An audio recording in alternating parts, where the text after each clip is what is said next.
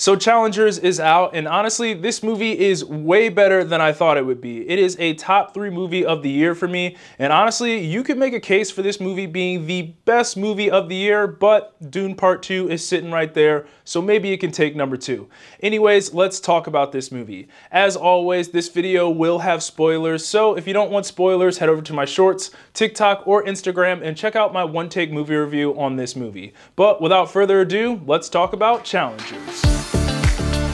So in this movie, we follow Zendaya's character Tashi Duncan, who is a former tennis player turned tennis coach. And when she signs her husband up for this challenger match, they both soon realize that one of his opponents is actually not only his former best friend, but Tashi's ex-boyfriend, and this leads to a whole messy love triangle that leads to quite the movie. As always, starting things off with the good, and the first thing I have here has to be Zendaya. This was her first lead role in a movie of this size, and in my opinion, this is probably her best performance of her career. She truly invested herself into this character and she just absolutely killed it. She stole the show in just about every scene that she was in. One of my favorite things about her performance though is that she just had such an expressive face throughout this entire film. I mean, there were scenes when she would be talking to either Mike Faist or Josh O'Connor's character and she would make these faces that were just almost comical in a way, but in that moment you knew exactly what her character was thinking and feeling. So it was cool to see her become this character because I did not see Zendaya at all in this movie. I only saw Tashi Duncan and she is an extremely unlikable character if I do say so myself. But that leads me kind of to my next point of how good Zendaya's performance was in this movie. And that is that Tashi Duncan was just not a good person at all. She's not someone you want to like, but for some strange reason, I still found a little part of myself wanting to cheer for her and wanting things to turn out well for her. So that's just more of a credit to Zendaya for somehow making a character that you both hate but for some odd reason also like and want to win at the same time. Next up for the good, and I of course can't mention Zendaya without mentioning her co-stars Mike Faist and Josh O'Connor, who are both phenomenal in this film as well. Really, this whole cast did an outstanding job. They had great chemistry between the three, which really gave that love triangle they had going on throughout the movie a lot of tension. I will say though, I can't say that I like their characters in Art and Patrick any more than I do Tashi because all three of these characters weren't the greatest of people and they were pretty terrible to each other throughout the entire movie. But I will say though, that is something that this film did very well. There was definitely three perspectives in this movie and I was bouncing back and forth throughout this entire movie on who I liked and who I hated. Sometimes it was Art I was cheering for and hated the other two. Sometimes it was Tashi I was cheering for and hated the other two. Or heck, sometimes it was Patrick I was cheering for and hated the other two. You were always back and forth and that kind of kept you on your toes like a tennis match, but that's something I'll get to in just a second. But yeah, each character had their moments where I liked them and wanted to cheer for them, and they had their moments where I absolutely despised everything about them. So that's just a big kudos to this entire cast because it is very hard for an actor to get you to both like and also hate your character, let alone three actors doing it in one movie. Next up for the good, I have the editing slash overall just storytelling in this movie. Now, I'll be honest, in the beginning of this movie, when they were kind of revealing how they were going to tell this story,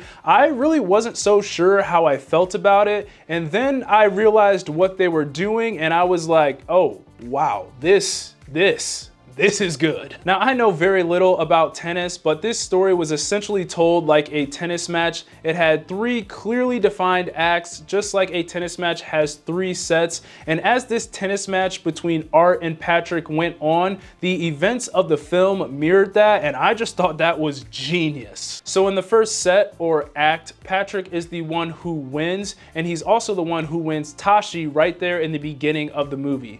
But in the second set, he loses. So in the second act of the movie, he also loses Tashi to Art. And in the third set, they don't show who won that set, just like they don't show who won Tashi in the end. And I definitely have some feelings about that, but I will get to that later in this video. So yeah, the way this story was told was super creative. It really just felt like a breath of fresh air for the sports drama genre, and it really just kept you engaged with this story all the way through. And finally, for the good, I have the tennis matches. Now, the tennis matches were just so much fun to watch in this movie. They were shot very creatively. There are so many creative edits within them, and that just made these matches even more exciting. I mean, there is literally a part where you have a POV of a tennis ball and you're kind of strapped to this tennis ball and they're just hitting you back and forth during this match. And honestly, that's kind of how you felt with this movie. You're going back and forth with how you felt with all of these characters. And I don't know much about tennis, as I said before, but if tennis matches are anything like they were in this movie,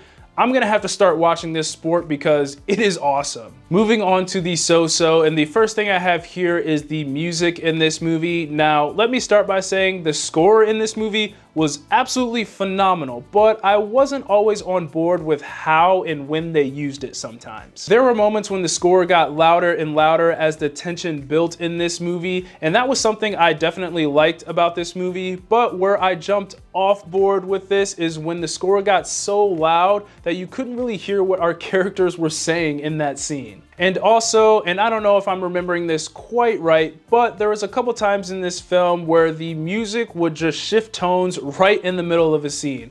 For instance, when Patrick and Tashi met up the night before the challenger match that he had against Art, they were playing this super intense score that was helping build the tension of this scene. And then of course, when they started to, you know, hook up in that scene, they switched the music on a dime to this more choir sounding song. And for me, that just really didn't fit that particular moment. I feel like if they would have just let that score keep playing out through that scene, I think it would have been a little bit better in my opinion. And they did do this a couple times in the movie where I just don't think the music quite matched up what was on screen. But yes, at the end of the day, I did love the score that was composed for this movie. I thought it was phenomenal, just wasn't always on board with how and when they used it. And finally for the so-so is that this movie was just a little too long in my opinion. Now don't get me wrong, I enjoyed this movie all the way through. I think it's a really good movie, but I do think it could have been like 10 to 15 minutes shorter. There were some scenes that I think could have been cut down a little bit because there was a lot of scenes in this movie that were very dialogue heavy and that made them feel a little bit longer than they needed to be for me. And I started to feel that runtime towards the end of the movie as they revealed a couple more things about the story in that third act, which made it kind of feel more stretched out than I think it needed to be. And finally getting into the bad and the only thing I have here I kind of briefly mentioned before but I wasn't too big of a fan of the ending of this movie. I just felt like okay we just spent a whole two hours with these characters getting to know them and going back and forth on who was going to win and end up with Tashi all for us not to have a conclusion to this big dramatic love triangle. So I definitely walked out of the theater after watching that ending a little underwhelmed. And I guess you could make an argument that this movie was more about the relationship between Art and Patrick and how Tashi came between them because at the end of the movie, they technically both won since they tied and reconciled their differences and kind of came together with that big hug they had right in the last scene of the movie. But even with that said, there were stakes for each of these characters when it came to the outcome of the tennis match. So when you have this ending that's pretty ambiguous on who won and who ends up with Tashi, it just felt like those stakes weren't really paid off in the end. And that was one of my biggest dislikes with this movie. And that's kind of the reason why I have this movie at really good and not great. Overall though, Challengers is a really good movie and is currently a top three movie of the year for me. Zendaya and the rest of the cast was great and the story was told really creatively. There was plenty of tension and the tennis matches were an absolute blast to watch. So this is definitely a movie that I think you should check out. Those are my thoughts on Challengers. Be sure to let me know what you thought of the movie down in the comments and as always, be sure to like, subscribe, comment, get your Eazy Apparel at shopeazyapparel.com. God bless, and I'll see you guys later. Peace.